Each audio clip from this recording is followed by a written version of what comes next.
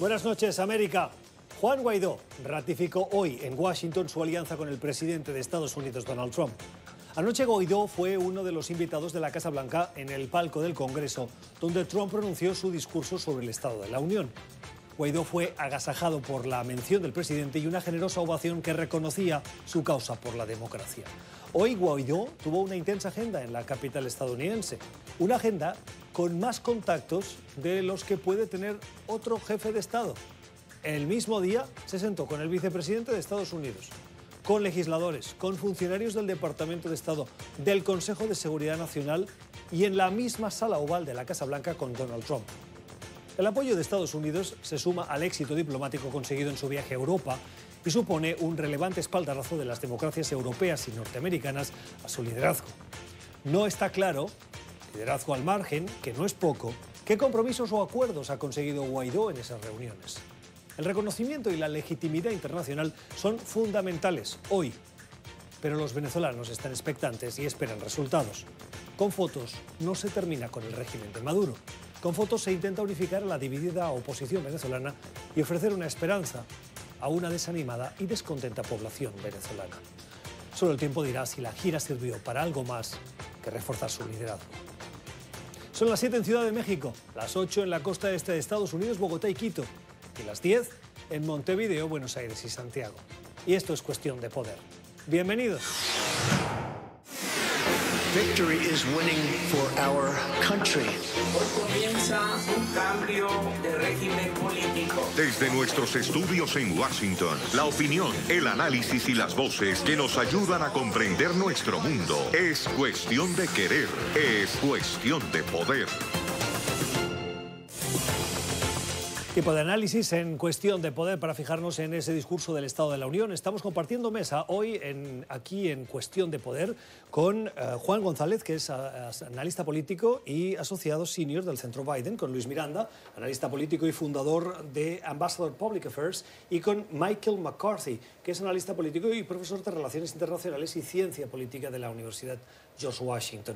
Profesor McCarthy, ayer vimos a una Nancy Pelosi que cruzaba las líneas del decoro político y a un presidente Donald Trump que hacía lo propio. El primero no le dio la mano, la segunda rompió el discurso del presidente de Estados Unidos y ella es la presidenta de la Cámara de Representantes.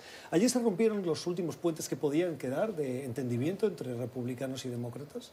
No creo. Eh, les toca a las partes tratar de restablecer los puentes eventualmente. Eh, obviamente estamos en este momento en un punto muy agudo, de polarización muy agudo, diría yo, después del intento de este, llevar este proceso adelante en contra del presidente por las cargas, este, el juicio político contra él fue absuelto, eh, pero obviamente las relaciones entre el presidente y Nancy Pelosi no son muy buenas.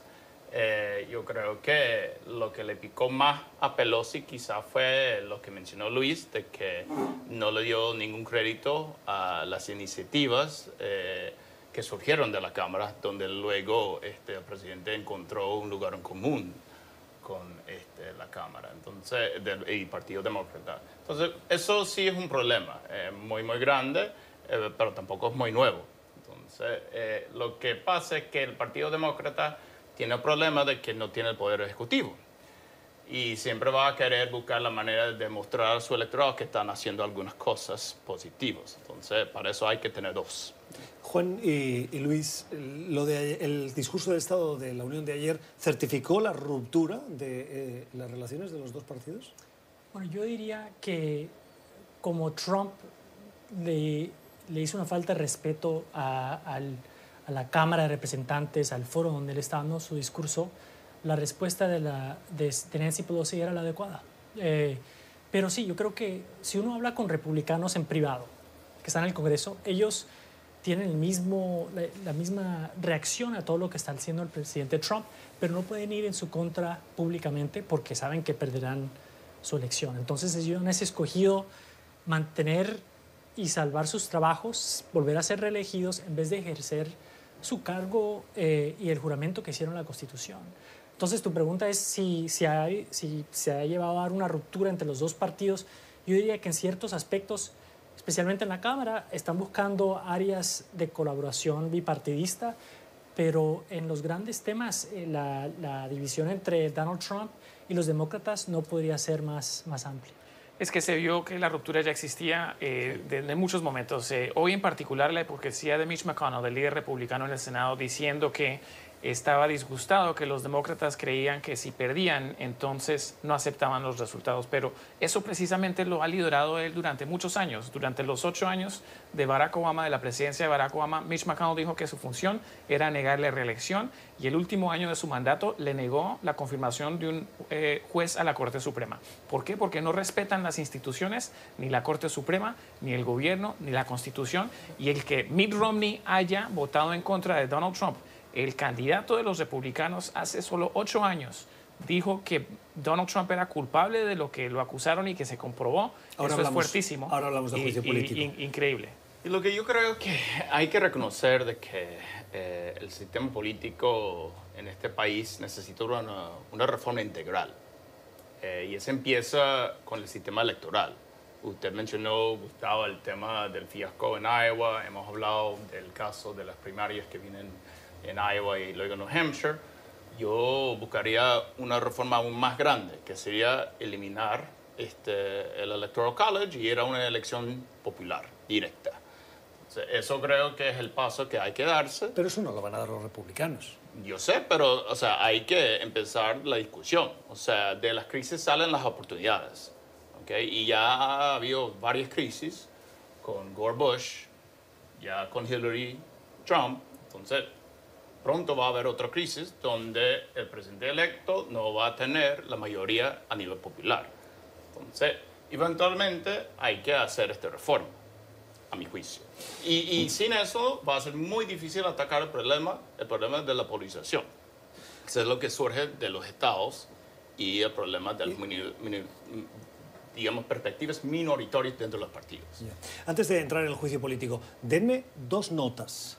Una sobre la eficacia del discurso del Estado de la Unión de ayer, del 1 al 10. ¿Cuán eficaz fue Donald Trump para sus intereses? Y dos, la valoración general que ustedes le dan. La eficacia, que puede que la compartan o no, pero eficacia, y la nota que le darían si eso fuese un examen. Juan. Bueno, eficacia yo le daría un 10, porque para su base política esto le va a ayudar mucho en el esfuerzo de, re- de reelección. En cuanto a las notas que le daría yo a él, ah, eh, bueno, le diría número uno es n- no mientas, Ah, actúa presidencial. Una cifra. De, ¿qué- ¿Cómo puntuarías eh, ese discurso? ¿Cuál es la escala? Sí, del 1 al 10. Del 1 al 10. También. Ah, pues yo le diría en cuanto a, Al contenido. al contenido, un 1, la realidad. Sincero, 10 si lo puedo dar. uno. Sí, no, totalmente. Ok. Luis. Ah, Tendría que estar más o menos de acuerdo con Juan. O sea, yo creo que a nivel de estilo logró lo que quiso lograr. Eh, o sea, yo creo que fue una idea inteligente, eh, digamos, tratar de pasar la página y no hablar del juicio político ahí en el Congreso y tratar de ir al tema de la elección, hablando de iniciativas o ideas que ellos tienen sobre el tema eh, de la agenda doméstica, eh, con salud, estos tipos de cosas. Ahora, a nivel de qué notas le diría, eh, eventualmente estás este, haciendo algo, o sea, realmente estás haciendo algo que está dañando al país. Entonces, en este sentido, no te puedo dar una buena nota. Entonces, por un tanto. por lo tanto, sería un cero. O sea, o sea no, no, es, Sí. Es, eh, mira, aprovechando que está aquí Michael, eh, que no solo es analista, sino profesor de ciencia política, tendríamos que decir que Donald Trump dictó una clase de maestría en, en campaña política anoche, porque muy efectivo a nivel de comunicación, de visuales. Eh, solo le faltó salir con el humo de la tarima, como lo hizo en la convención republicana en Cleveland, para, para tener el, el ambiente de un show de ópera, de, de, eh, y de reunir a la gente, de lucha libre. O sea, él es muy efectivo con los visuales y la comunicación. Pero de hecho, eh, mintió hasta decir no más eh, y por eso eh, debe estar descalificado. Eh, la realidad no lo está, tendremos que contender con eso y los demócratas van a tener que mostrar que son más fuertes y más audaces en la manera que se comunican, porque en este momento la estrategia de ser tan respetuosos con el sistema y con todo el proceso eh, nos está llevando por el mismo camino que lo fue en el 2000 durante el conteo de votos en Florida, donde los republicanos obstruyeron, abusaron, eh, insultaron, mandaron a, personal de Washington para hacer protestas, haciéndose los que eran de la Florida, con todo con tal de congelar un voto que sabían que iban a perder. Y eso es lo que están haciendo ahora, tenemos que ser mucho más firmes, más audaces. Juicio político. Hoy el Senado votó esos dos artículos eh, por los que se acusa al presidente Donald Trump de obstrucción al Congreso y de abuso de poder. Artículos, eh, primero, que ninguno de los dos consiguió la mayoría absoluta de eh, los legisladores, en este caso de los eh, miembros del Senado, 48-52 y en el segundo artículo 47-53. Tal vez el titular aquí es que Mitt Romney rompió filas con su propio partido y sí ah, votó a favor de eh, remover al presidente, aunque su voto fue simbólico y probablemente vaya a ser muy criticado, Luis.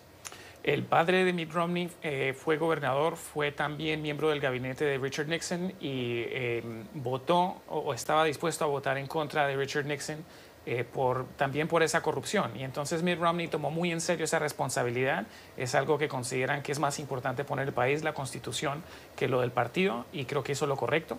Creo que a medida que sale más información, porque va a salir el libro de John Bolton, van a salir, como salió hoy, ya más información de todas las maneras que Donald Trump abusó de su poder y trató de, de negarle fondos para ayuda con su campaña política a, a los ucranios. Eso va a seguir saliendo y, y, y los republicanos se van a ver muy mal. Yo creo que Trump va a tratar de decir de que Romney lo hizo porque eh, él no llegó a ser presidente. Pero en realidad yo creo que le duele al presidente Trump que no ha recibido el apoyo de toda la banca del Partido Republicano. Entonces yo creo que sí es un golpe, no es un golpe definitivo, pero cuenta. Sí, yo, yo creo que la Casa Blanca lo va a tratar de castigar. El tipo de republicano que es Mitt Romney es una especie en peligro de extinción. Hoy en día el Partido Republicano se ha movido a la extrema derecha. Ezra Klein escribió un, una ópera en el New York Times hace un par de semanas que es excelente, que dice que la dirección que está tomando el Partido Republicano y el país es uno en donde el año 2040 70% de la población de este país será representada por solo 20 senadores. ¿no? Entonces, hay una, un escenario en donde eh, los republicanos usan las palancas y las herramientas que tienen el poder electoral, la Corte Suprema, para asegurar victorias presidenciales sin el voto popular, asegurar el control de la Cámara y el Senado, elegir todos los, los jueces eh, que están alineados con sus puntos de vista, mientras el país se está moviendo hacia la izquierda. Y eso es algo que es malo para nuestra democracia y para todos los que conocemos Latinoamérica. Son, hay similitudes en eso y, y la ruptura institucional de, de, muchas democracias en la región. Me gustaría abordar eh, la presencia de Juan Guaidó, el presidente interino de Venezuela, que fue uno de los invitados sorpresa, porque no estaba anunciado hasta casi casi el mismo momento de comenzar el discurso como eh, miembro de esa delegación de invitados, de esa lista de invitados de la Casa Blanca. Guaidó, que estaba solo, fue eh, mencionado por el presidente Trump, eh, de pie recibió una ovación de las dos cámaras y eh, un Juan Guaidó agradeció luego en Twitter y allí a los legisladores ese apoyo que le dan a su liderazgo. ¿Va a servir de algo eh, el hecho de que haya sido invitado al discurso del Estado de la Unión? Hablando del tema de los puentes entre los partidos, la mención de la presidencia de Juan Guaidó fue un momento en que por el cual los dos lados pusieron de pie. O sea, eso fue una ovación bipartidista cuando el presidente Trump nombró la presencia de Juan Guaidó. Entonces, creo que ese fue de los momentos más positivos de toda la noche, en, digamos desde la perspectiva de país y nación. Eh, ahora, eh, su presencia fue algo simbólico para comenzar. Los hechos reales pasaron hoy. Todavía no tenemos todos los elementos para decir exactamente fue, eh, digamos, el tema principal de la reunión entre Guaidó y Trump hoy, eh, pero es muy importante que este, hicieron, digamos, no solamente la parte simbólica, sino también una audiencia oficial, sí. este, con todos los honores en la Casa Blanca. Sí, Mike, yo estoy de acuerdo contigo. Lo único es que si uno escucha en el discurso lo que dijo Trump, todo era política. Trató de identificar el apoyo por Guaidó como algo, una lucha en contra del socialismo y trató de alinear a los demócratas con el socialismo. O sea que obviamente los demócratas iban a aplaudir por Juan Guaidó, fue la decisión correcta del presidente de invitarlo a, al, al, discurso. Guaidó está en una posición muy difícil, ser una, una planta política, una herramienta política para el presidente o regresar a Caracas sin esa reunión y, arriesgar que tal vez lo encarcelaran, lo, lo, detuvieran. él hizo la decisión correcta por, por él, por eh, los venezolanos que están sufriendo y él resaltó ese tema. O sea, yo creo que él hizo la, la decisión correcta por ir al discurso, por reunirse con el presidente Trump. Pero, ¿sabes qué? El presidente Trump muy fácilmente pudo haber usado esa posición para darle TPS, estatus de protección temporaria, a los venezolanos que están en este país. Este año fiscal han deportado a más de casi 400 venezolanos a, la situación en Venezuela. Eso es, demuestra que el presidente con todo gusto toma ventaja política de la situación en Venezuela, pero en realidad no le importa el sufrimiento del pueblo venezolano. Y también que es obviamente que la parte que es contra inmigrante, que es pro-nacionalista, que es racista, son los que mandan en la Casa Blanca. Si no, él hubiera hecho esto porque hubiera sido otra victoria política para él. Y es que le queda tan fácil como ponerle una medalla a Rush Limbaugh a hacer ese TPS. Explica quién es Rush Limbaugh. Eh, durante, durante el discurso anoche eh, aprovechó para darle la medalla de honor más alta eh, del país a Rush Limbaugh, un personaje de radio que durante los últimos 40 años se ha dedicado a avanzar los intereses de la derecha por la radio. anunció que tiene cáncer y Trump le otorgó esta medalla de honor. Eh, pero eso no está mal, ¿no? ¿O sí no está mal? No está mal, pero lo que digo es que así de fácil puede otorgar el TPS. Pero si vamos a fondo, ¿cuál es el problema verdadero? Que el mismo Marco Rubio, que tiene tanta función tan importante en cuanto a lo que son relaciones exteriores en el Senado, eh, senador por la Florida, donde hay tanto venezolano americano, dijo que eh, aún si lo que Trump hizo, reconociendo que es que cumplía con el límite para ser destituido de su cargo, que no valía la pena destituirlo pues Rubio y sus secuaces en el Senado lo que están haciendo es dándole, eh, quitándole autoridad moral a los Estados Unidos para cuando hablamos de la corrupción, para cuando hablamos de lo que está haciendo eh, Maduro en contra de su propio pueblo, cuando tratamos de hablar de lo que hay que cambiar en Cuba o en Irán o en cualquier otra parte del mundo, ya no tenemos la autoridad moral de un país que se, que se corrige cuando ve actos de corrupción en, pleno, eh, debido a lo que hizo hoy el Senado de votar en contra de estos cargos de destitución porque la evidencia estaba ahí y se ve que Donald Trump es corrupto y que se merece ser destituido de la Casa Blanca. Yo tengo el sospecho de que el presidente Trump está guardando eh, en el bolsillo lo de TPS para el momento de la campaña plena, desde un poco más adelante. Eh, es correcto que pudo haber hecho eso anoche, hubiera sido la cosa correcta para hacer pero él no va a hacerlo cuando les conviene a los congresistas demócratas que vienen luchando tanto por eso, aunque debería ser un tema bipartidista. Es bipartidista en el Congreso. En el Congreso, pero para la Casa Blanca obviamente es un tema muy sensible por muchas razones, por los que mencionó Juan, todos los que están dominando de alguna forma la política dentro. Ellos me imagino que van a tratar de encontrar una manera de disfrazar un TPS sin llamándolo un TPS, ¿no?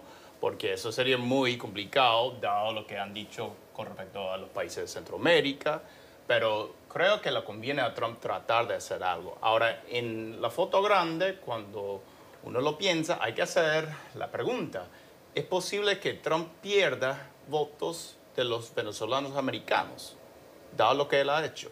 Tendría que también hacer el TPS para lograr unos puntos más en la Florida.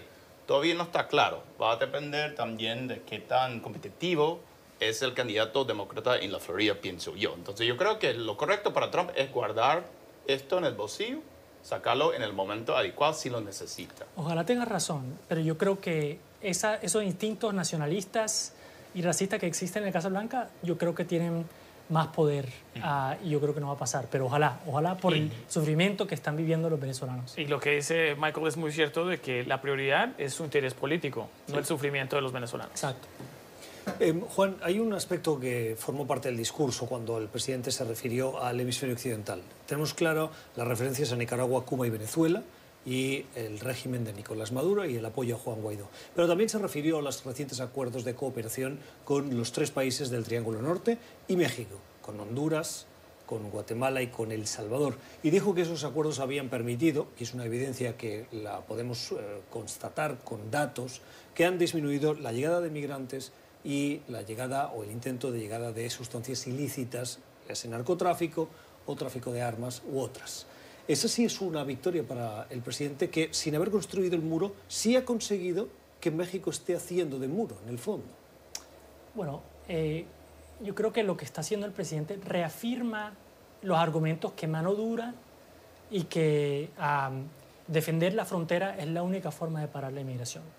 Eso yo creo que es el argumento político que ellos van a hacer en la campaña.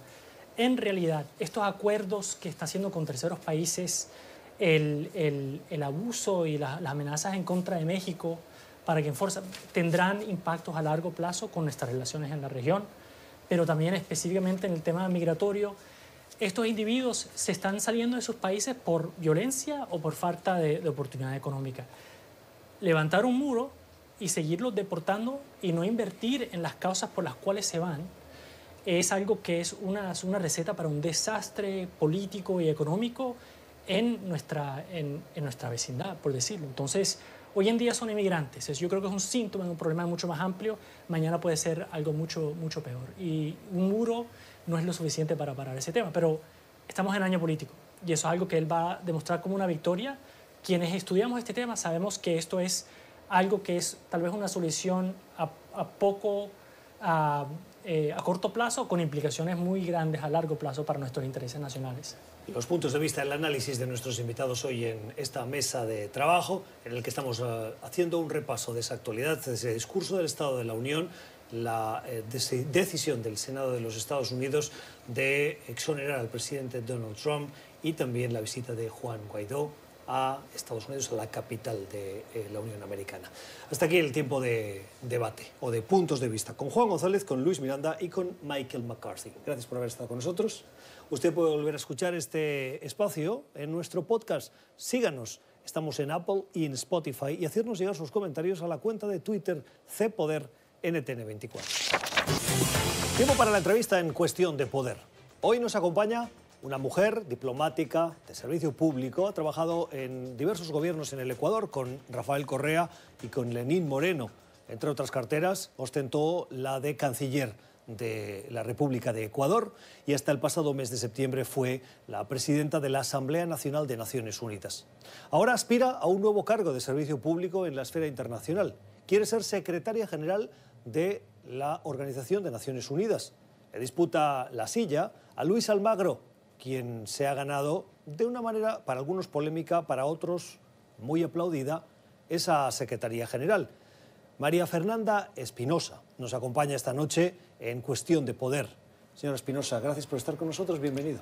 Encantada de estar aquí en Cuestión de Poder, un programa que pues eh, veo eh, mucho. Gracias por esta invitación, Gustavo. Bueno, bienvenida entonces. El próximo 20 de marzo la Asamblea General de la Organización de Estados Americanos va a escoger a su próximo secretario general y usted aspira eh, frente a un Luis Almagro que tiene el apoyo del Grupo de Lima y que parecería un candidato que ha conseguido el consenso mayoritario en muchas cosas, particularmente en la cuestión de Venezuela.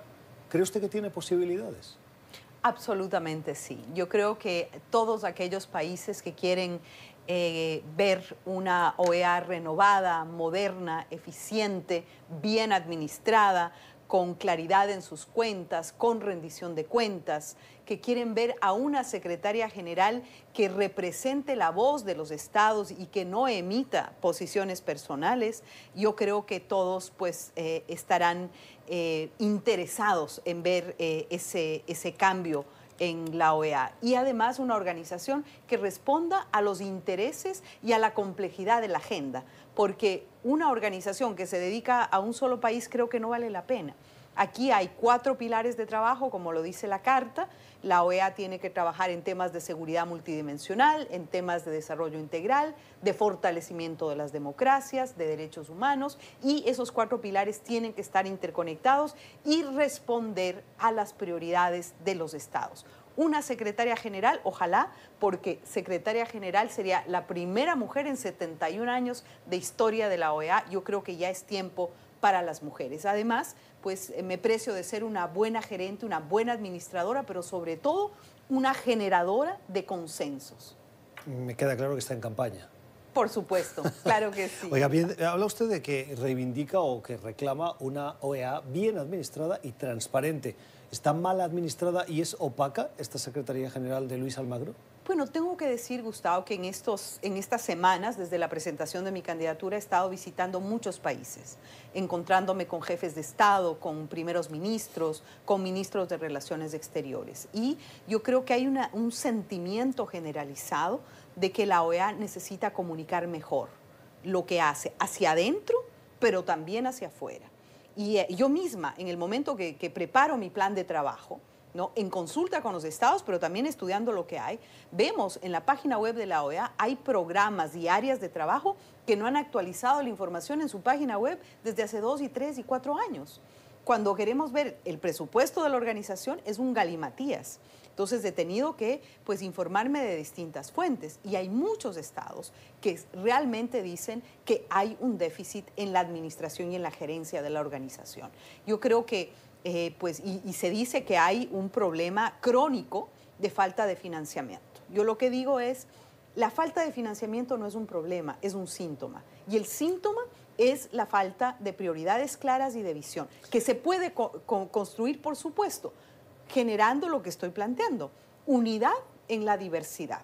¿Está escondiendo respetando las diferencias. ¿Está escondiendo algo la Secretaría General de Luis Almagro, por lo que usted está diciendo? ¿Hay algo que cree usted que no se está haciendo bien? Gustavo, no, no, no creo que haya un afán ni de esconder ni de no revelar, pero no hay una cultura de la transparencia, de la rendición de cuentas, de la comunicación eh, directa, oportuna, permanente del secretario con los Estados miembros, con todos, porque una de la, la magia del sistema multilateral es la igualdad soberana eh, eh, de los estados. ¿Por qué cree que los estados no hacen esa reclamación que está haciendo usted? Yo creo que en muchas ocasiones lo han hecho y lo han hecho públicamente, que, ¿Por no, ejemplo? Han sido, que no han sido debidamente consultados, que hay temas que les toman por sorpresa, que eh, está muy debilitado el diálogo entre los estados al interior de la OEA. hay cosas que, que, pues muchos estados sienten que no han sido incluidos, que no se les ha preguntado. Eh, en el ¿Pueden momento... darme ejemplos de esto que dice? Sí, bueno, hay, hay varias, varias resoluciones. Ha habido, por ejemplo, una pronunci un pronunciamiento recurrente de los países del CARICOM, de la mayoría de países del CARICOM, diciendo, a ver, eh, esto nos toma por sorpresa, ¿no? Muchas de las resoluciones que han pasado últimamente. Y lo otro es la falta de una mirada integral de la agenda. Muchos de los países eh, del Caribe, por ejemplo, reclaman mayor peso en la agenda de desarrollo, de cooperación para el desarrollo, responder a temas que para ellos son vitales, de, supervivencia real, como el tema del cambio climático. ¿no? Hay otros estados que eh, su prioridad, por ejemplo, son los temas de seguridad multidimensional, donde la, la organización ha generado muchas buenas prácticas que tienen que ser profundizadas. Y lamentablemente, la agenda de la organización se ha centrado en uno o dos países. No desconocemos que son países que están en crisis, eh, que requieren respuestas, pero hay una serie de temas, los cuatro que mencioné al inicio, que son los que le dan vida a la organización. Cuando Planteo volver a esto precisamente. Cuando habla de uno o dos países, ¿está diciendo Venezuela y Nicaragua? Bueno, hay varios países que, que, que no, tienen... usted ha dicho uno o dos, por eso le preguntaba. Sí, uno o dos. Eh, me, me, refiero, por ejemplo, a que, a que ha habido últimamente mucho foco en la situación de Bolivia, por ejemplo. En, en, su momento y prácticamente durante estos dos últimos años ha sido el tema de Venezuela. Nadie desconoce que es un, un problema eh, que requiere respuestas. Pero eh, la OEA no ha estado pues, en, el, pico de la ola en los temas eh, de Venezuela. Hay grupos ad hoc que se han tenido que formar, incluyendo el, grupo de Lima, el grupo de contacto con participación de la Unión Europea, una iniciativa de diálogo propuesta por, por Noruega, eh, pues hospedada por Barbados, es decir, mucho movimiento donde la OEA ha perdido protagonismo porque es muy importante Pero, que en un, una situación de conflicto pues exista un, eh, un, puente de diálogo. Un, un, secretario general tiene que ser un constructor de consensos, tiene que ser un facilitador del diálogo, sobre pero, todo entre aquellos que piensan diferente. Entiendo los puntos que me pone, pero permíteme eh, poner sobre la mesa. Usted dice que la OEA ha perdido protagonismo y que tiene que ser un generador de consensos. Eh, me parece que en el, la relevancia de la OEA de hoy respecto a la situación de Venezuela, de anteriores secretarías generales, hay un abismo entre lo que, se, lo que pasaba antes y lo que ha hecho esta Secretaría General. el protagonismo sí lo ha conseguido la OEA y de hecho hay mucho elogio desde el punto de vista de la recuperación de ese liderazgo por parte de la OEA. La generación de consensos eh, sería otra cosa distinta. Hay relevancia y es una evidencia hoy más que antes. En los consensos, ahí le dejo la crítica, pero le pregunto, ¿en esa generación de consensos no cree que el secretario general actúa por lo que le piden los países? Eso es lo que debería ser un secretario general. Y no es pasa decir, ahora. escuchar a todos, procesar los disensos, y no es una cosa que, que me- que- que estoy pontificando, Gustavo. Yo lo pude hacer con 193 estados en Naciones Unidas como su presidenta, procesando eh, y diferencias profundas en temas muy delicados. Pero nadie nunca escuchó de mí cuál era mi posición personal, ni forzar a un Estado a adoptar la posición que yo tenía, en absoluto. Porque un líder lo que tiene que hacer es precisamente ¿Cree- lo- lograr que eh, exista diálogo, incluso y sobre todo entre aquellos que piensan diferente. ¿Cree que Hay muchos estados que se sienten este, eh, eh, alejados, alienados, no escuchados. Y no es algo que yo estoy diciendo, sino que he escuchado de varios líderes del hemisferio. ¿Cree que, eh, usted me lo decía antes, que las opiniones personales no tendrían que ser relevantes en cuanto se habla de un secretario general? ¿Cree que Luis Almagro se tendría que haber mordido un poquito más la lengua en la cuestión venezolana? Yo creo que en general, Gustavo, cuando se tendría hay... que haber mordido la lengua en general. No, Ah. en general lo que quiero decir es que cuando hay una situación de alta volatilidad, de conflicto potencial o real, el rol del secretario general tiene que ser extremadamente prudente y cuidadoso, sin avanzar criterios personales, esperando los pronunciamientos de los cuerpos técnicos de la organización, escuchando y dialogando permanentemente con los estados. El sistema multilateral es eh, el, el dueño del sistema multilateral son los Estados miembros. O, por supuesto, en permanente consulta y diálogo con la sociedad civil, ¿no? Con una posición de liderazgo del secretario sobre los temas en los que tiene mandato. Eh, es muy importante que cuando un secretario viaje, informe a los estados. Viajo a este lugar, esta va a ser la posición. Las resoluciones de la Asamblea General, que es el cuerpo gobernante de la OEA, ha establecido esto para este tema, esto, tener mecanismos de alerta temprana para los conflictos, tener un equipo mediador de alto nivel que esté operando permanentemente, sobre todo en un momento de, de- de- de gran movimiento e intensidad eh, en América Latina, eh, el Caribe en general, en el, hem- en, el, en el hemisferio, yo diría. Entonces, yo creo que hay muchas cosas que mejorar, que potenciar, que renovar. Siento que hay que quitarle como el polvo y el, honor, el olor a naftalina a la OEA, y eso es lo que propongo. Y no son palabras, sino que hechos. Soy una buena gerente, soy una buena constructora de consensos y acuerdos. Señora Espinosa, ayúdeme con la concreción en sus respuestas. Eh, si usted es elegida, es, eh, una de las decisiones que propondrá el Consejo Permanente es volver a eh, ofrecerle la, secretaría, eh, la, la silla de Venezuela al gobierno de Nicolás Maduro. Esas decisiones las toman los estados. ¿Cree usted que sería el ¿no? momento de y- llegar a eso? Y, yo creo que eh, esto no es la arquitectura y el deseo de un secretario general. Pero ¿cuál es su Son las decisiones. Eso es el problema.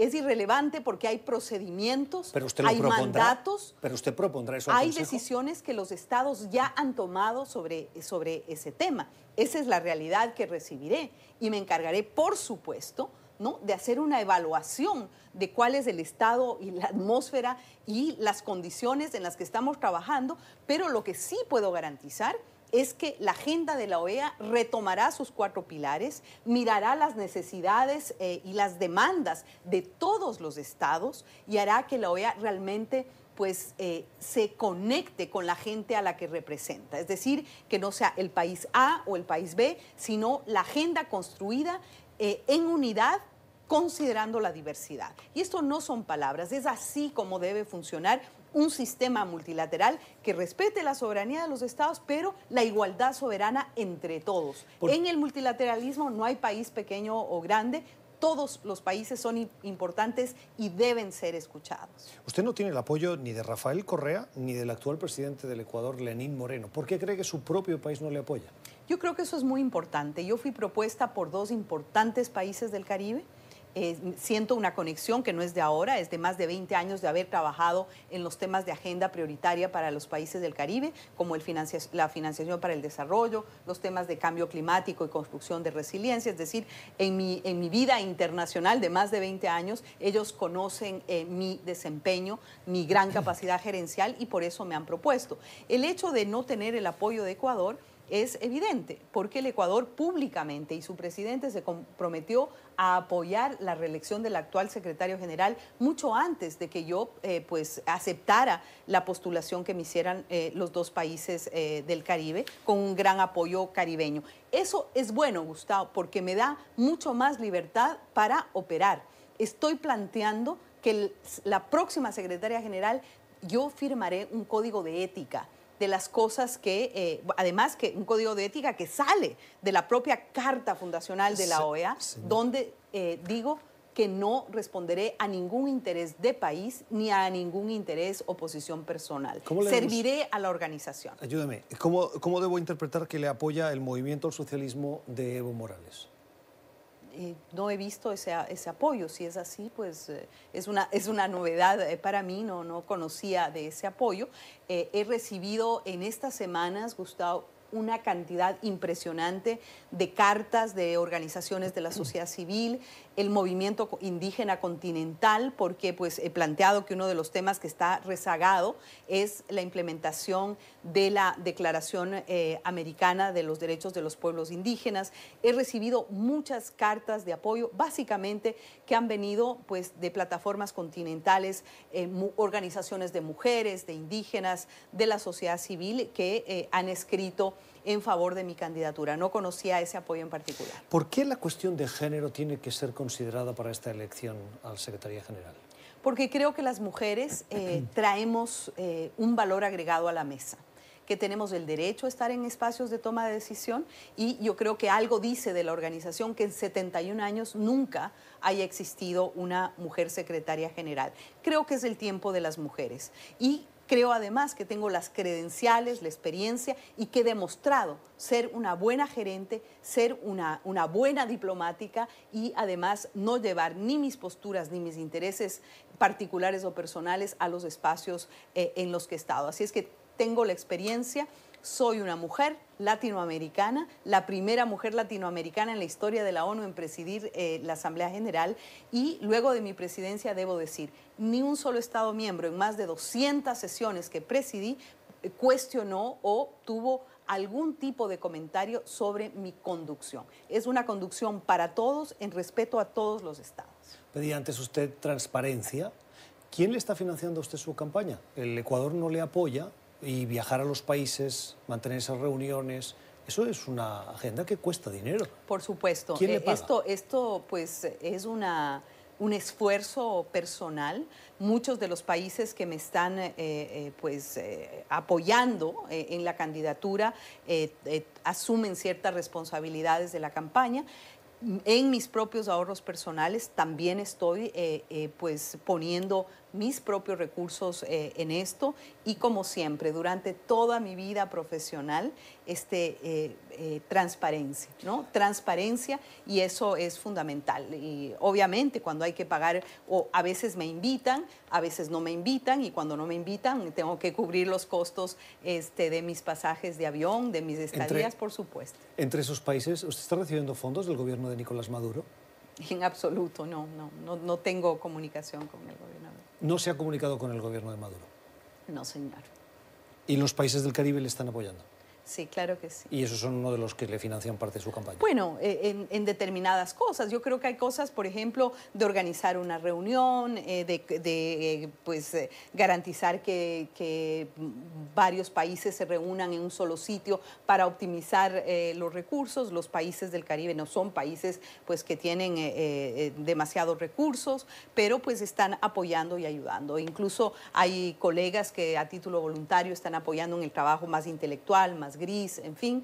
Este, este es un trabajo este, compartido y colectivo y me enorgullezco de eso, que no hay una gran potencia pues, este, financiando mi, mi- mi candidatura, sino que sea parte de eh, el, trabajo, el, compromiso de mucha gente eh, y también de, los ahorros, de los ahorros eh, personales. Pero tampoco, y digamos la verdad, es decir, aquí tiene que haber toda la transparencia del caso, pero no estamos hablando de, millones. Son viajes es- pues, específicos, hoteles aquí y allá, en muchos sitios no hoteles, sino incluso llegar a la casa de amigos, en fin, yo creo que estamos haciendo un, un uso inteligente eh, de los pocos recursos eh, que hay para esta campaña, que por cierto es de enorme importancia para el futuro y el equilibrio del hemisferio.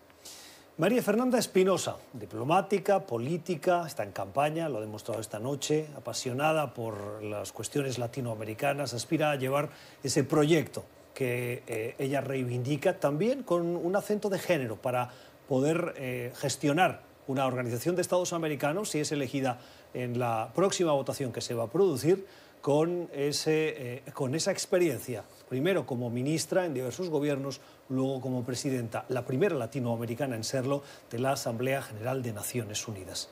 Señora Espinosa, gracias por haber estado con nosotros. Muchas gracias y gracias a Cuestión de Poder y a NTN 24. Puede volver a escuchar esta entrevista en nuestro podcast. Estamos en Apple y en Spotify. Y háganos llegar sus comentarios a CPoderNTN24. Diamantes en Bruto, la recomendación cultural, la película que hoy nos recomienda, nos propone Alexandra Colonamil. Está dirigida por Josh y Benny Safdie. Y la pueden ver en Netflix. si no Está en Netflix. En Netflix. Bueno. Queda hecha la recomendación. Gracias, Alexandra. A ti, Gustavo. Por cierto que eh, antes he sido injusto, le he preguntado por las cosas de Efecto Naim, pero no le hemos recordado la hora. Los domingos a las 6 de la tarde. ¿Estoy Así bien? es. Bueno, domingo 6 de la tarde Efecto Naim. Siempre aprende uno cosas interesantes y sorprendentes, como le gusta decir a Moisés. Gracias, Gustavo. Bueno, nosotros terminamos así hoy el programa, no tenemos más tiempo, pero les invitamos a que mañana nos vuelvan a acompañar. Antes, déjenos sus mensajes en las cuentas de Twitter, las leemos siempre. Hoy no hay más tiempo. Que tengan una feliz noche.